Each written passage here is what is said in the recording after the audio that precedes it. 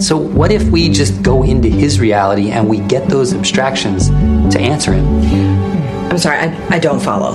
What if love, time, and death show up in person and answer the letters that Howard's been writing to them? So, what if we just go into his reality and we get those abstractions to answer him?